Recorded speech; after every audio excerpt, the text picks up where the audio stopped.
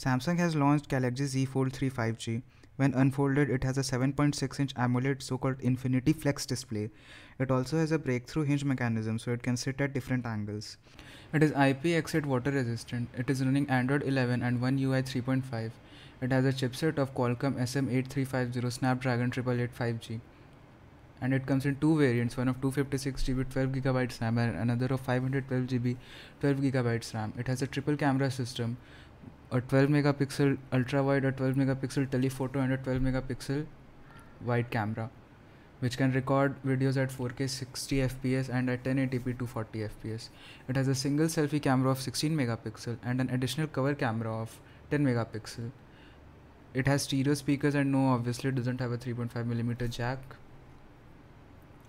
It has a 4400 milliamp hour non-removable battery.